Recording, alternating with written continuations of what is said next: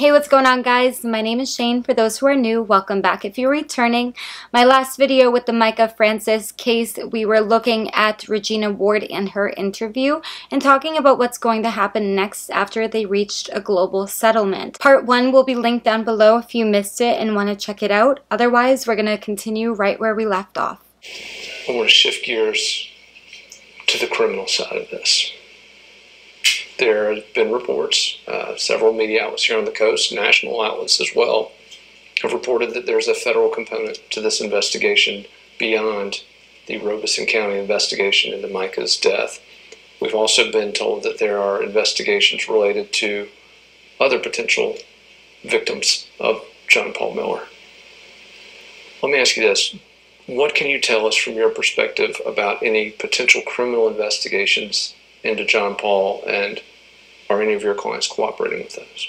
Right. So, um, one of the things that I have said over and over is basically, for instance, I have an order stating that Mica's personal property, when the legal authorities are finished with their investigation, that it'll be returned um, to my office.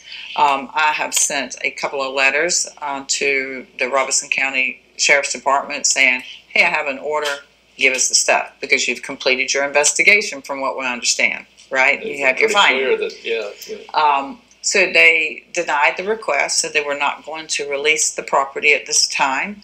Um, By the way, if you're catching up from part one, we learned that um, Mica's Apple Watch is currently being investigated, and Regina requested it, and basically law enforcement is not uh, not releasing it until they're done with their investigation. So that's what she's talking about. In case you missed uh, the context from part one.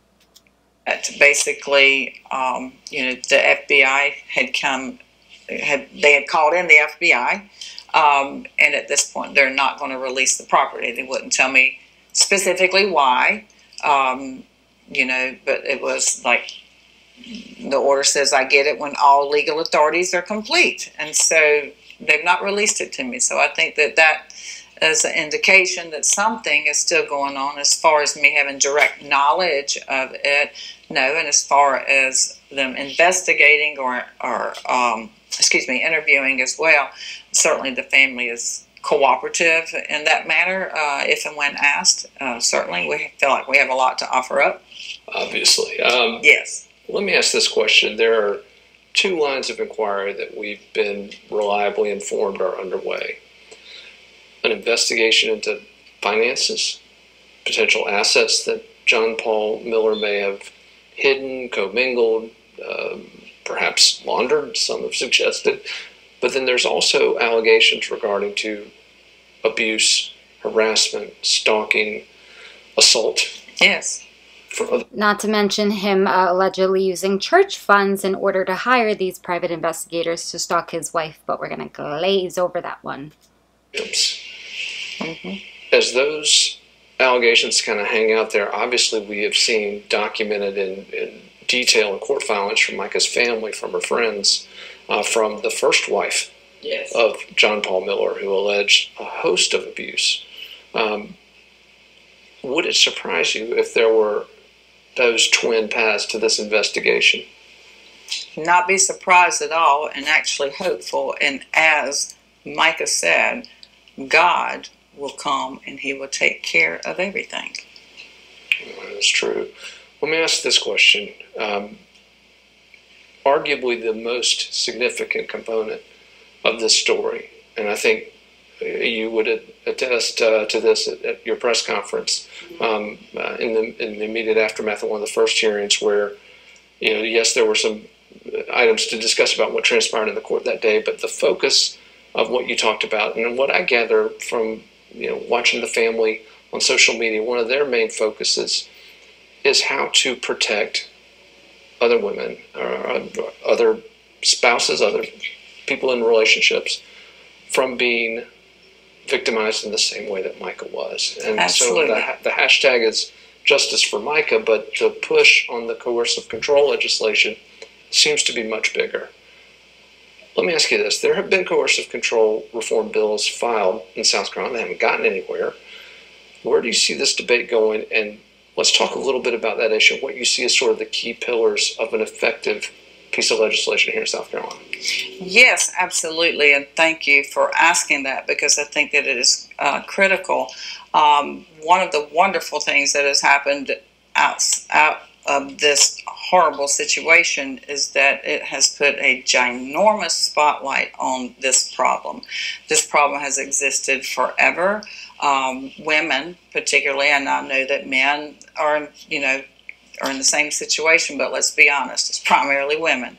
Okay, and um, it is critical um, now that this has been brought to light uh, that something be done about it. Because I'll tell you right now, if that bill or if that had been made a law, and if that law had been put into place several years before this happened to Mica, there is no doubt in my mind that this possibility she would still be alive.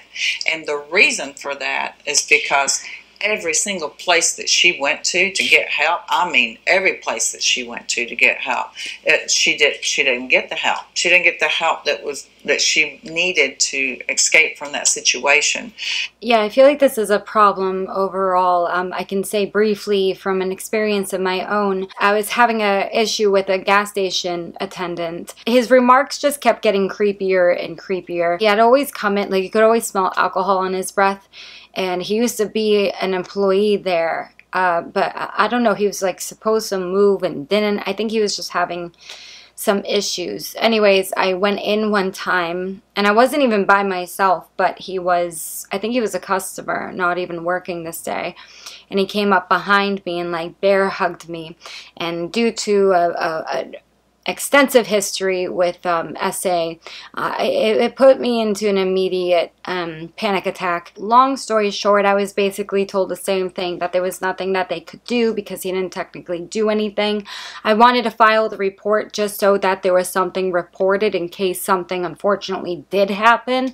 At least I had reported a prior incident that could be pulled up again. So I know this happens. I had made a whole video about it when it happened because I was so distressed because I was already going going back and forth in my mind morally of what to do. So finally, when I got the courage to try to put a stop to this guy being a creep, I literally went to law enforcement and they told me to turn around and go away. There are still things pending, but I had to go and try to get a restraining order on somebody. And I say try because even though this person kept showing up to my house, and allegedly his friends were also watching me and stuff. It wasn't enough to go get a restraining order on someone. So I 100% believe that everywhere that Mica went, she was turned away for help. And this really needs to change. And it's because the laws are not set up, they can actually be abused, and that, and that was happening. So, had that been in place, it would have created stumbling blocks to start with. Okay, the police would have had something to look to whenever police hear I'm being abused, they say, Where are the marks? Okay, they're looking for physical evidence. Um, this is abuse that does not leave marks on your body, but it leaves horrible marks on the psyche, the mind, and self confidence of a person. And it is difficult for an officer to show up and, and, and, and, determine, you know, is this a coercive control situation? And so I believe that people are a little bit hesitant about it because when you take the, the items one by one, in and of themselves do not seem to be, you know, something that would be considered illegal in and of itself. And, and the point is is that all of the different types of tactics and examples of coercive control that is outlined in the bill you have to put them together and in the totality of the circumstances pulling all of that together then appears the crime. So the problem with that is that there may be an opportunity to abuse even that situation okay, or that it goes too far, that it crosses the line, that a that an alleged victim is utilizing that um, actually for a control tactic reversed. So the way How do we prevent that from happening, though? Is there a way to draw the the line? Absolutely, I have a theory. My theory is this. First of all, whenever police officers show up to any place where there's an alleged crime, Um, they they investigate, they ask questions, they do that sort of a thing. Uh, usually, police officers are going to arrest someone whenever there's you know probable cause for the arrest that they can see marks on the hand, whatever the bruise that is probable cause that they can see, so they can make that arrest. Now, if there's a situation um, that's much bigger, in other words, like a felony, those require a warrant. Okay, so that means that if an officer observes these types of behaviors and says, Hey, I'm not sure, but it appears that this may be a coercive control situation. You know, I can't arrest this guy on sight, but let me take this information to our local magistrate. And then the magistrate looks at it and, and determines, compares it to the law that will, you know, hopefully be written one day, uh, compares it to the law and determines whether there's probable cause more likely than not, that's what that means. More likely than not that there is a crime occurring here. And then they can take that warrant and execute the warrant and pick up the person and arrest them for it. And then at that point, it's going to be up to the solicitor to garner the rest of the evidence, you know, the journals, the patterns, the 19 phone calls to the police, and all the things that have been reported. Um, so then it, that to me would afford some protection from utilizing the um, the law itself as a as a tool against someone else. But it's critically important uh, that it goes a step further because once uh, once someone is arrested for that type of for that crime, we'll call it for that crime, I think that the next step that needs to happen is when they get before the bondsman, which they're going to get, and of course once they get out, they are mad, right? So I think that it should be mandatory that anyone who's arrested under coercive control must wear a GPS monitor. No questions about it. It has definitely got to be one part um, mandatory as part of a bond uh, that's being issued. So I think warrants um, are the way to do that. They can collect the evidence and have a magistrate determine if that's something that should be executed or not. And in this, I don't understand how JP got away with so much. I mean, the tracking, like this is all just okay. There's there, there's too many holes in the law. I believe that you can get away with so much until you basically commit an act.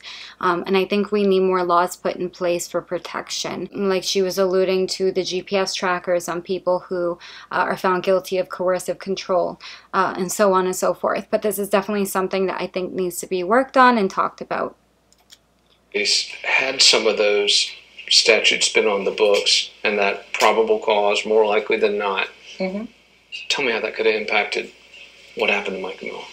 Well, the, in terms of for instance, whenever you call police, um, when you're at home in your jurisdiction, usually the police officers, when they're assigned, they're you know they're familiar with whatever territory. They also can look up quickly and say, "Oh, have we ever been to this home before?" So they're like, "Oh, they're calling again. Uh, they called about this before."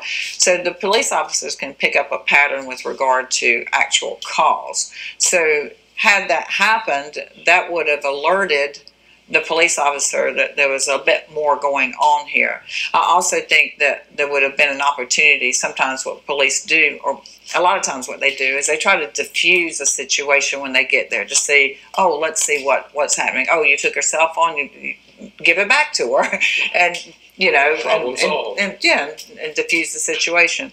Uh, sometimes what they'll do is, you know, encourage. Uh, sir, you need to, you know, can you go stay at your mom's or your best friend's tonight till everything calms down? Or maybe there's a situation where people are, you know, under the influence of alcohol and they're acting out and things that you do whenever you're under alcohol may not do, you know, sober. So, um, and then also interviewing her when she would say things like, you know, he's put trackers on me, he's, you know, following me everywhere, he's showing up in places I wouldn't expect him to show up. I'm in the middle of lunch and he turned off my cell phone, you know, and uh, he demoralizes me. He's called me names, he sent me threatening letters, he's incessantly t- calling me. I've told him over and over and over and over again. Hold on, hold on, sorry, my back is killing me. I just have to adjust. Okay. Stop contacting me. And even after a police officer told him to stop contacting her, um, he did again. So when she's sitting there verbalizing all of these different things in the story, that then the radar goes off into um,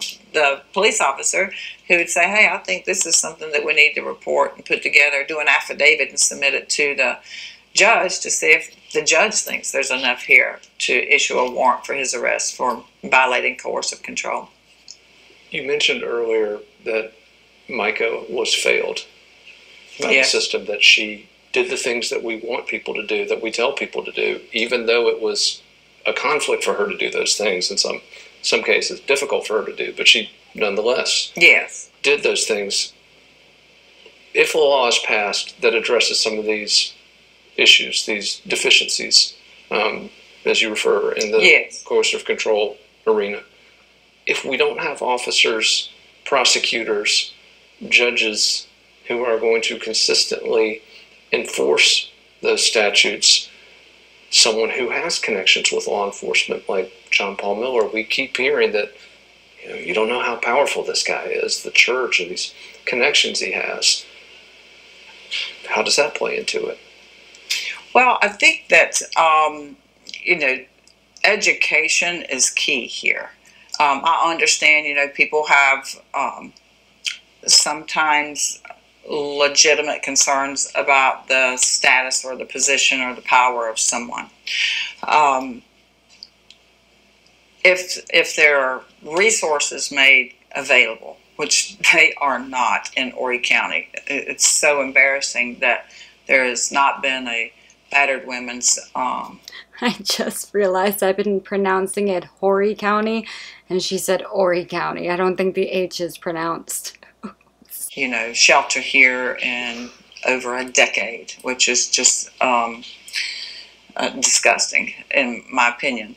Um, there's not enough resources. There are actually a couple of websites that that a person can go to to get some information on what can I do, where do I go, how do I get help.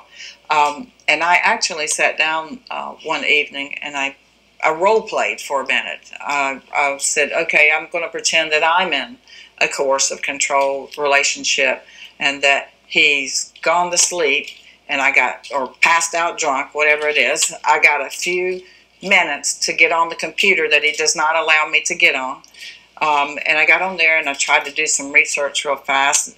A bunch of junk popped up, and then finally I got, I finally I got to a place where I'm still breathing heavy, thinking he's going to wake up any minute from me clicking on the keys. Right?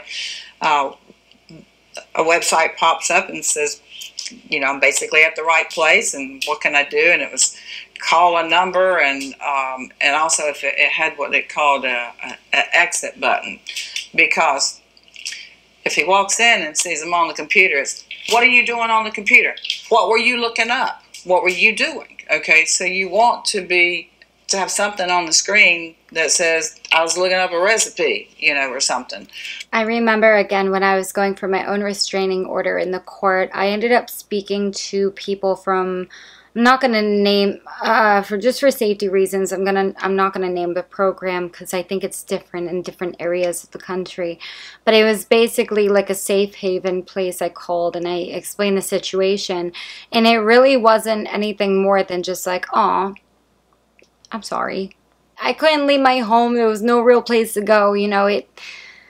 But when I called, I do remember one of the first things they asked me when I answered was that, am I in a safe place or is there like a chance that someone uh, could see or hear what I was doing that I didn't want to? She's talking about here. Uh, victims going onto websites and looking for safe havens if the perpetrator did happen to come up behind your shoulder or see what you were doing that it would appear as like a recipe page or like something other than you know what they were actually looking for uh, for it but it's for safety trust me it's Um, and so that website had an exit button. And when you hit the exit button, it's supposed to take you to a weather station. When I hit the exit button, it went to the Google search bar. So that would the question then would have been, what were you about to Oh. look up? Okay. yeah that's not they gotta fix that it's not working properly and i really honestly i cannot figure out for the life of me why people in general and especially people who are in power that can make a difference do not really have any sympathy or have any uh, concern about the gravity of abuse in a home. It, it's like it's not happening to me. It doesn't exist. The, the, another thing is like, and I know this is just slightly off topic, but I'm just incensed in how it's not being properly addressed. Uh, any form of abuse. There's this.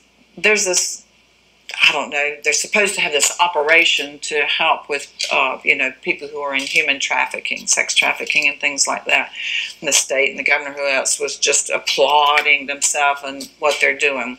Okay, let's talk about that for a minute. I walked through an airport and there was a tiny little sign that said, if you're a victim, call this number, which was a number that no one would ever be able to memorize. Can we get a hashtag one two, a hashtag one, something that's With text fast, code or something. something yeah. that's easy, something you know, one eight hundred help me or say Oh yeah, we have 911. You have what what is what is the UK's 999? Something simple, easy to remember. Uh, not that you have to stare at a sign and try to remember it. If you're a victim, oh, let me just write it down real quick. Yeah, I see the point that she's trying to make. Or something. It was the Like number. the suicide prevention line. and- Yes, it was ridiculous to me. I was like, this is laughable and it's embarrassing. It is embarrassing. That same information, which should have been on the back of every single door of every stall in there. Because, you know, and there should be hot phones on the wall that whenever you walk by, you can grab it real fast and say, help me. What's going to happen? Boom, cameras are on it notice has gone out. Can we get some real help out here? And that's the thing that people, you know, our government or the po- folks who are supposed to be helping, who walk around and pretend that they are and tout that they are. Okay, where's our abuse shelter for women? It's not here. Where? Oh, are- I really love the idea that she had of like literally on the back of every bathroom stall or just plastered everywhere. Um, it doesn't even have to be hideous, but you can place it in, in, in strategic places where it's accessible everywhere. Um, I love the idea of that for having like a hotline because you think not just coercive control when it comes to relationships, all the trafficking we're hearing about, I I think it would be a major step forward. Um, even doing something as simple as that. actual real solid uh, resources. There is a, a, a resource booklet um, that I downloaded, and it gave phone numbers to call. Oh, if you're in an abusive situation, call this number. I called it; it was out of service. Please help me, somebody. Well, there are powerful elected officials here. I mean, the chairman of the Judiciary Committee, the, the South Carolina Senate, Luke Rankin. He's a represents this area. Where is he?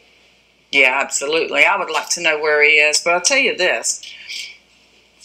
He he cried like a baby on Facebook because I called him out for not doing his job. Senator Um, Rankin. Excuse me? Senator Rankin did. Senator Luke Rankin cried like a baby on Facebook because I called him out. He was, and still is, head of the Judiciary Committee. Mica's Law is what I'm going to call it, the Coercive Control Bill, was introduced multiple times, twice in the House and once in the Senate. You get it in the Senate, you got the most powerful senator that's there, head of the judiciary. You think he's got some power? Yes, he's got power. So he failed to use the power to take care of the citizens of the state of South Carolina. He walks around saying that he made a difference or makes a difference, that he's done so much for this county or this state, etc. Please, please, please tell me why. Please tell me why when there was a, cre- a request put forward for money to build a battered women's shelter, um, which we haven't had since for 12 years. We refer everybody down to Georgetown. Good luck getting there. Um, where is the money for that? So there are two very fine gentlemen who have been working on the project, um, Fred Nesta and uh, Mike King. They themselves, just citizens, they're not involved in government, saw this need and they have been working diligently to try to raise the money for years, raise enough money to build this shelter. They were successful in finding um, you know, a, a wonderful donor, a benefactor who gave land for it. Uh, they put together the plans, the drawings, and so forth. Turns out they needed about $3 million. $3 million. So they go before, have someone put forth a request in the, the budget to have some money, you know, given to them to help do this very, very important thing that helps a lot of people in our community. Um, they were shot down on the $3 million. But they were kind enough to give them $1 million. That's a lot of money. That's great, but we need three. So fast forward a little bit, and there was a request put in by another local representative for $3 million the three million dollars that was needed for the six or seven million dollar building that's being built for the um, dog pound, homeless animals. Homeless animals got three million dollars while he approved one million dollars for abused women and children. I love Old Yeller just as much as the next person. But are you kidding me? I, can't I, I try to keep my opinions at a minimum because I really just try to react. But some things I just I can't. Um, why is it that a group of older men called the Senate who are passing these laws get to then determine how much how much danger and how much protection and how much safety needs to be offered to women? Already problem. I think you're out of touch. He's out of touch with what's important to the citizens. You know, I I like these things about, oh, we're going to, you know, make the roads better and whatever. That's How great. about we start with But- the quality of life inside the home of people? How about we go to that place? How about we put some money into education so that people understand how insidious and how abusive this form of abuse truly is. People cannot wrap their mind around it. When you're living in it, you feel like that there it's it's ghost stuff. It's invisible things that chip chip chip chip away at the person until they become so uh, feeling of you know no self-worth um, total depression, total despair, total of I have to give up and stay here. That happens a lot. Mica took her a little while. She got empowered. She finally got empowered. And she felt empowered when she walked into this office and sat down with me. She was ready to move forward and she was she was upset about what had happened to her. So again, she's going to retain a lawyer, be empowered, walk in, be ready to move on from JP when seeming it seems like for a long time this is something that she wanted to do but was too afraid. Now has the confidence to do so. Just got recently baptized and now she's going to kill herself. and her eyes were opened. And she said, You know, I didn't know. Didn't know. Now she knows. Now she knows. When you mentioned earlier about the the sacrifice, Yes.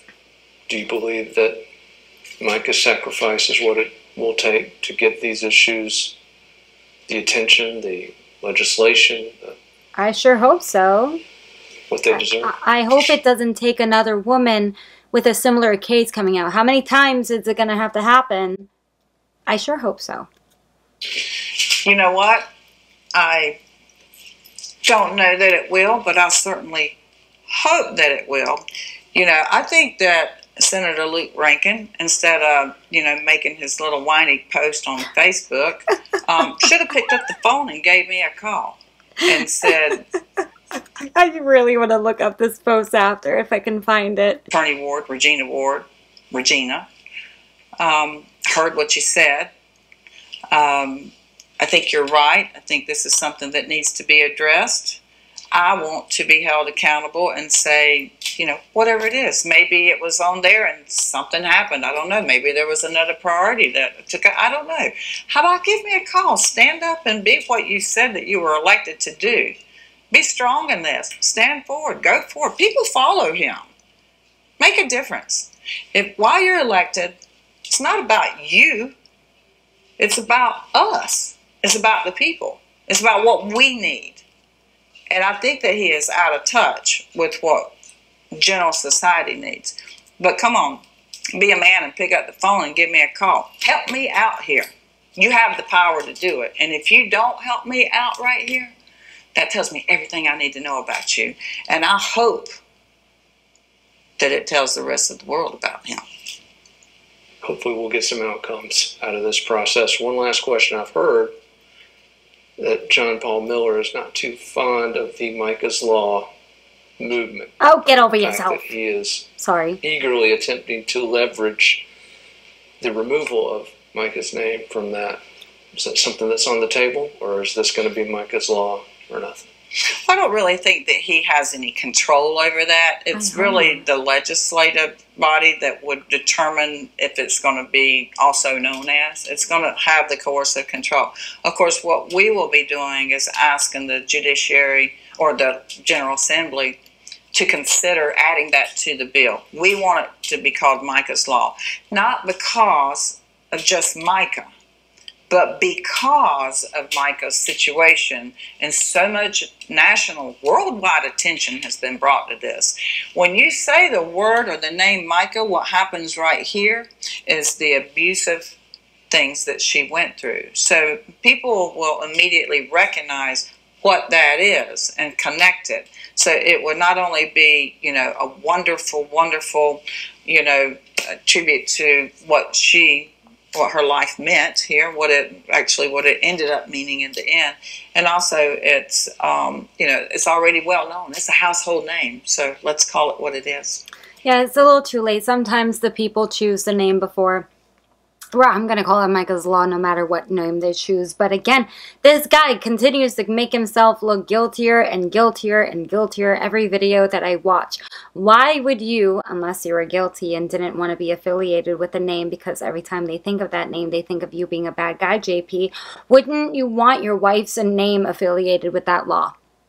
One good reason, JP. I would love to hear it. Anyways, that is the whole interview with Regina Ward. I will keep you guys updated as new information comes out with this case and further cases in the future. If you enjoyed, please go ahead and show me by leaving a like. Also, you can subscribe if you don't want to miss any new videos, and I'll see you in my next one.